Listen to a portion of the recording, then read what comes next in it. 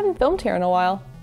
Hey, what's up? I'm Liz, this Blitz City DIY, and the reason why we're filming over here today is it's time to do another computer project. Uh, for those that are new to the channel, uh, my computer, I built it about three to four years ago, and it's named Reptar, and I love it very, very much. But to be honest, in the past couple months, I haven't been the best computer owner. I haven't been uh, following my own advice. My storage situation is a bit yikes, uh, whether it be the actual storage that I'm running every single day or my backups, even. So I need to just kind of get that all taken care of. So basically, this is going to be a multi part series where I first do a fresh install of Windows 10. I'm also going to do a BIOS update. And the way that you do that with most modern, modern motherboards is you just download the most recent BIOS that's in this little file and you just throw it on a freshly formatted USB drive. And then what you'll do is you'll just stick in your PC, boot into the BIOS, the UEFI, and then update the BIOS. And there's like a kind of a little like GUI way to follow it. Then I'm also going to set up a Raspberry Pi to run Open Media Vault, uh, which is um, kind of what it sounds like. It's a media server OS, but you can also use it for network attached backups, uh, and that's one thing I'm going to be doing with it, and then I'm also going to be doing some actual media server stuff with it as well. And then I also, I'm not 100% sure if I'm going to do this or not, but I've been considering swapping out the thermal paste on my CPU as well. Not because I've been seeing like temp differences really, but just I kind of want to see if it makes a difference at all. It's more of like a curiosity thing for me. And I'm also going to be running some benchmarks to see if a fresh install of Windows does make a difference uh, with your computer performance. Uh, so I did run some benchmarks um, last night as I was getting prepped for this whole thing. Uh, and I did notice that my benchmark levels had gone down a bit since the last time I benchmarked my PC about two years ago. So I'm curious if it's because of the OS getting a bit like clogged up or if it's just the age of my components. So we'll kind of test that out at the end of all this and see how that went. So this isn't gonna necessarily be like a step-by-step -step how to do it, but I'm gonna give you some tips on what helped me uh, to be able to kind of do this uh, successfully or I mean, it could go unsuccessfully too. It could be a warning, like, don't do this. But a couple things I did to prep that I think are really handy um, is obviously like one of the things that really prevented me from, from doing this for a while was I was worried about license keys and losing stuff for software. I think that's kind of the biggest risk whenever you go to a new computer in general or anything like that is making sure you have your product key, your license key, uh, and especially when you have a PC that you built yourself um, the Windows license key can get really tricky because you didn't necessarily write it down and stuff like that. So I looked into ways to extract your product keys like from your computer. So the program I used, because uh, recommended by a few reputable sources, was Belarc Advisor. And basically what it does is it kind of does like a health check on your system and it can also grab product keys from different softwares, including like Microsoft Office, um, which is kind of notorious with the most recent versions for really hiding that product key. Uh, your Windows 10 product key, which you'll you'll need.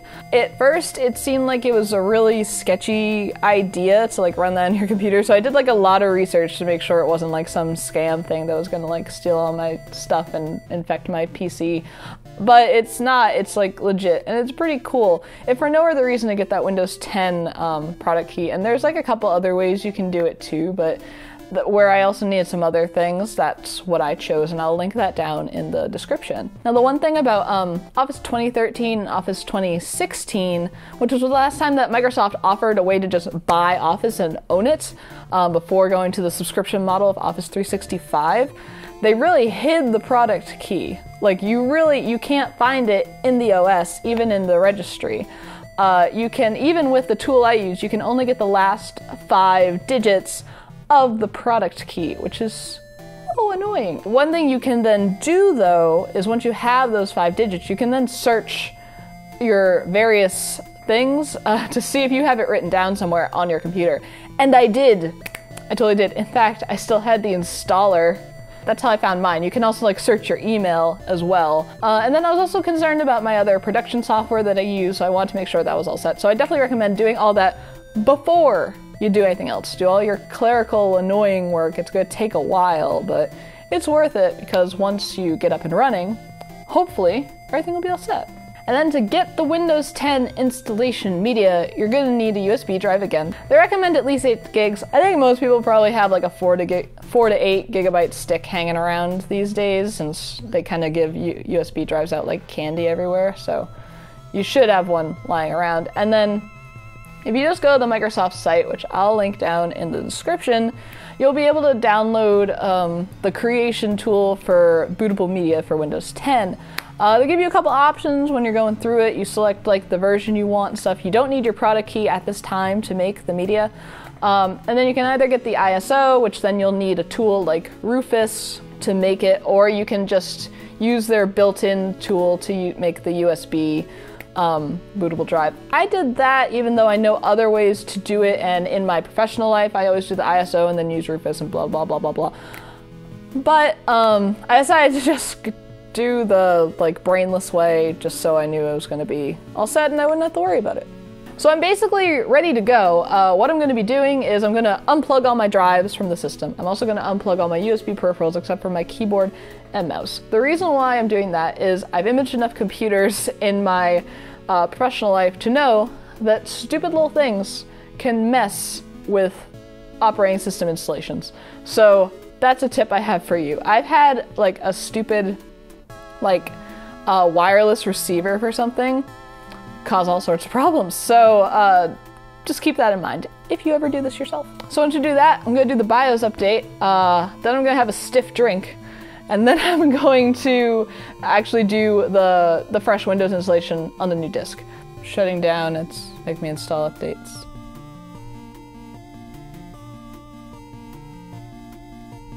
Alright, so we've plugged in the BIOS drive. Now we're going to power it up with no bootable drive. So we hit delete to go into the UEFI.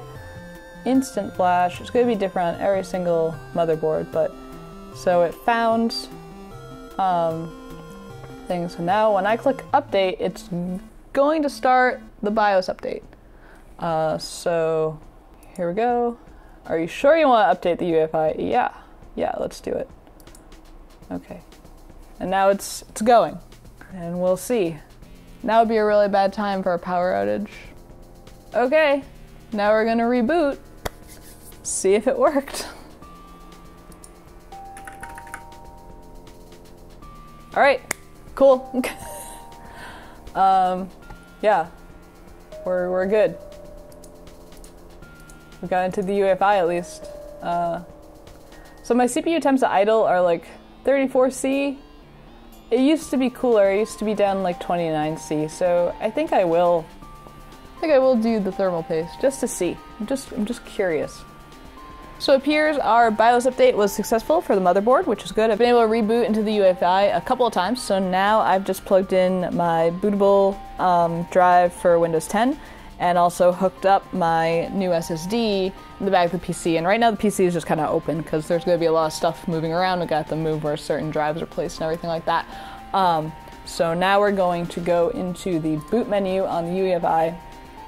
We're going to choose the boot option to be the USB, uh, and then we'll kind of see if it works. So basically, I'm going to exit the UEFI, um, not hit delete to go back into it, uh, and it should boot into the USB. And then it's during the Windows installation that you're going to select the SSD as the target for the installation. Uh, and then after that finishes up, we will have to go back into the UEFI uh, to change the boot selection to make sure that it selects the um, our new Windows 10 installation on the SSD. So let's do that. Exit, save changes and exit. Yes, I'm sure. So now we're just to watch and see what happens. We're booting into Windows, so it works. So now we're going to do the whole installation and see what happens. And I've unplugged all my other drives right now just to make sure nothing gets messed up, even from power. Everything's unplugged. Uh, and then we'll kind of like revisit everything after that. Because we're probably going to have to go back into the old Windows installation to retrieve some stuff anyway, so yeah. Here we go. Alright, so that went a lot faster than I thought it would. Uh, the installation uh, to the SSD was like probably less than 10 minutes, uh, and then getting everything all set so that I could boot into Windows to desktop was also super fast. Uh, I will say that uh, Windows really pushes you to use an online Microsoft account with your computer. Um, even to the point that like on the third time you're like, no, this is what I want my account to be on this machine. They're like, or even better, you could use the online version. I'm like, no. Uh, but whatever, they, there's ways. Just don't get pressured by Microsoft to. You can still do your thing. Um, so we're here. We're in the desktop. Uh, up next is going to be a lot of like really boring installations and everything like that. But everything looks good to go. And uh, yeah, so just to recap what we did today, um, updated the BIOS, did a clean installation of Windows to a fresh SSD. Um, with everything unplugged while we did that so nothing would get messed up and now we're gonna install everything. So the next part of the series is to be that raspberry pi omv installation. Uh, i'll probably walk through the steps on that and get everything kind of set up how i want to. Then after that we're looking at a thermal paste swap and some benchmarks. So uh, super nerdy I hope this is helpful for you just in general, whether you use Windows, Linux, Mac OS, whatever, um, and just like making sure your computer's in good health storage wise. In this day and age where everything is digital, basically, uh, it's really important to make sure all your stuff's in good shape. Uh, make sure you have your product keys very important. So if you like this video, uh, toss me a thumbs up, leave any questions or comments uh, down below. Find me on social media, links down in the description. Thank you for watching and consider subscribing for more content like this and the upcoming videos in this series. And until next time, this has been Blitz City DIY.